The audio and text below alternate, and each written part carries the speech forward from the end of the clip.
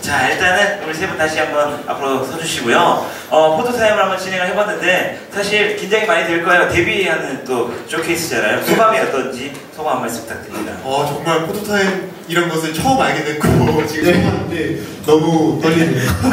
오늘 정말 네. 많은 기자님 오셔서 너무 네. 감사합니다. 아, 네, 떨지 마요, 떨지 마요. 우리 더 씩씩하게 해야 됩니다. 네. 어, 사실 이제 우리가 강화도에서 이렇게 열심히 준비를 하고 있다가 서울로 상경을 한 지 얼마 안 됐잖아요. 네, 맞습니다. 서울 상경을 하시고 난 후에 느꼈던 점이 되게 궁금해요. 강화도와 서울의 가장 차이점 뭐가 있을까요?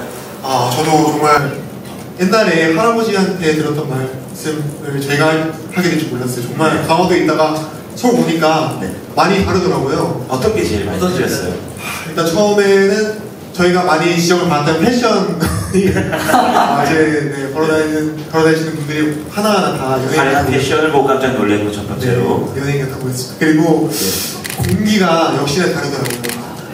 아침마다 상쾌한 정도가 굉장히 많이 달랐습니다. 여러분, 여러분 감사합니다.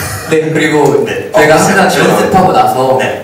목이 마르거나 뭔가 아이스크림 먹고 싶거나 그러면 항상 근처에 너무 편의점에 가려면 걸어서 한 시간 정도 가야 돼서 너무 힘들었었는데 아, 그렇게 멀리? 네, 그렇게 진짜 산골이었어요. 네, 서울에 올라오고 나서는 바로 앞에 편의점이 있다는 것도 너무 감사했어요. 혹시 뭐 식사하실 때 멧돼지를 잡아먹는다든지 토끼를, 토끼를 뭐 활로 쏴서 좀- 아니요, 그렇진 않죠? 어, 농작물을 키워서 고추를 따먹고 아, 오이를? 따먹고 네, 토마토를 따먹긴 했어도 멧돼지를 잡진 않았어요. 아 진짜 요즘 소개해드리는 아이돌들 가운데서 가장 진짜 그 청정비를 자랑하는 그런 팀이 아닌가 네, 싶습니다. 일단 우리 팀 이름이 몬트잖아요. 많은 분들께 이 몬트라는 팀 이름에 대해서 소개를 한번 해주셔야 될 것 같아요.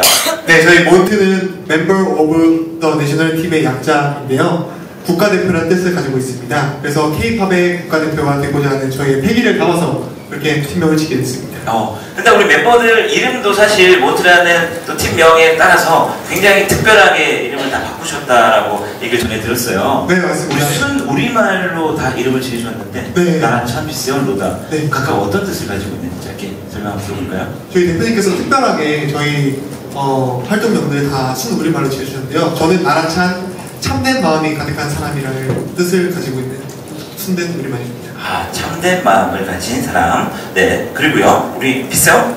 네, 저는 어, 빛세온이라고 해서 빛이 새롭고 크다라는 뜻을 가지고 있는 순 우리말의 이름입니다. 순 우리말로. 마지막 로다는 약간 순 우리말 느낌이 아닌 것 같아요. 네. 해외파 출신인 것 같은데 실제로 해외파 출신이시잖아요. 아, 예, 맞습니다. 중국에서 오래 사셨다고 들었는데 10년 정도. 14년 정도. 14년 중국에서 살았습니다. 살고 계신 한국에 오신 지는 얼마나 됐어요?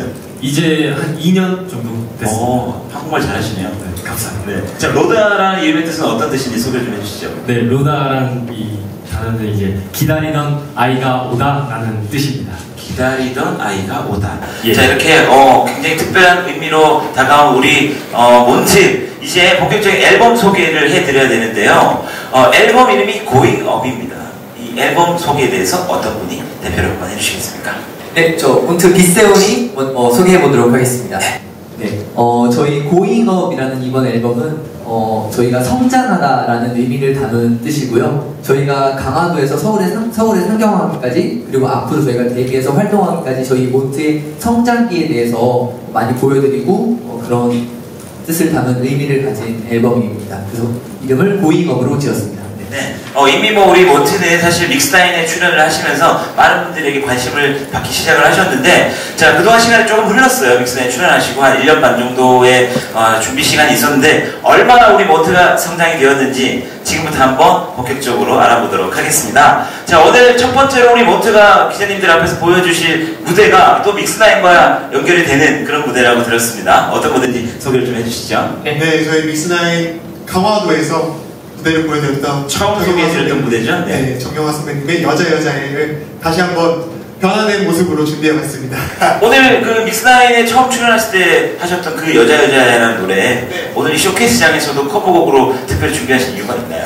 어, 사실 저희가 보여드리고 싶었던 게 어, 강화도에서 서울의 상경에서 저희가 많이 자란 모습을 변한 모습을 성장한 모습을 네, 네. 보여드리겠다는 의미로 그때 어, 강화도에서는 패션 지적도 굉장히 많이 받았고요. 그리고 노래도 춤도 많이 받았는데 지금 저희가 서울, 서울의 상경에서 어, 패션도 스타일리스트 해주시고 있고 네 그리고 저희 노래 보컬 레슨도 조금씩 받고 있습니다. 그때 사실 패션 지적을 하셨던 분이 양현석 심사위원님이셨잖아요. 네. 근데 지금 만약에 양현석 심사위원님을 만난다면 당당하시나요, 우리 모두? 어. 뭐라고 말씀을 드리고 싶어요? 당당하지는 못하겠어요. 이렇게 노력을 했다 저희가 이만큼 노력을 해왔다. 이만큼 처음에 와서 네. 네. 어, 어, 어떤가요? 뭔가 말씀드리고 있습니다. 아, 어떤가요? 다시 한번 재평가 받고 싶다. 네. 라는 그런 이야기군요. 네. 어, 그렇다면 우리 모트가 좀 어, 멘토로 삼는 최고의 패셔니스타는 누구인지 한번 살짝 여쭤봐도 괜찮을까요? 우리 양혜석 어. 사장님이 워낙 또 어, 네. 패션에 대한 지적을 하셨는데 이제 많이 또 공부하셔야 되잖아요.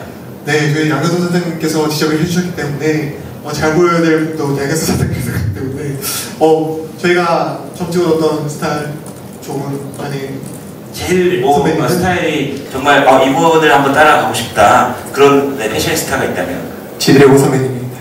네, 지드래곤 선배님이요. 네. 네. 아무래도 한국을 대표하는 패셔니스타 선배님이시기 네, 때문에 네. 지드래곤 선배님이 아닌가 싶습니다. 또 지드래곤 선배님이 지금도 군대에 가 계셔서 공석이잖아요 패셔니스타. 네. 저희가 우리 모트가 열심히 노력해서 한번 그 자리를 노려보도록 하겠습니다. 네.